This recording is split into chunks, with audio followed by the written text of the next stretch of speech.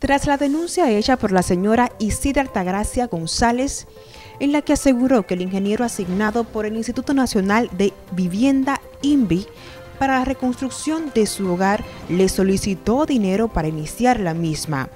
José Pimentel, encargado provincial de la entidad, aclaró los beneficiados de las reconstrucciones no deben pagar en lo absoluto.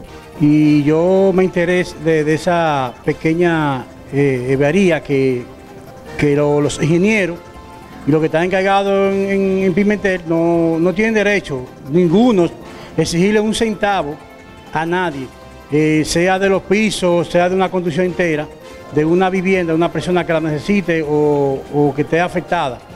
Yo le exhorto a, la aprobación que cualquiera persona que le cobre un chele, un chele que le cobre, pues para eso está la, la institución del INVI, a través de, ingeniero Bayobané Coto, que me hizo la llamada anoche, a las 12 de la noche, y está investigando el ingeniero que hizo esa, que le dijo a la, doña que le diera ese dinero.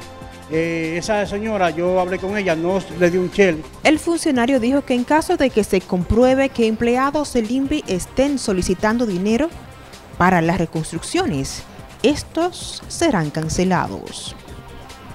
Giovanni Cordero, NTN, su noticiero regional.